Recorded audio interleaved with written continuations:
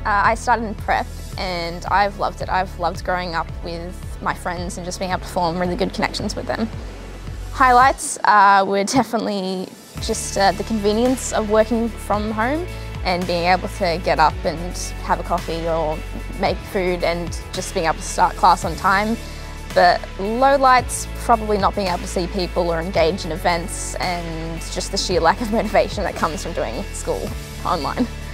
Uh, I've really loved when we've all gone on camps together because you can really form great memories there and I really love production as well.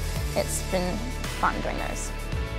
Well, I hope I will remember the education that I have absorbed here and also just uh, the skills and interactive social skills that Chairo's taught me.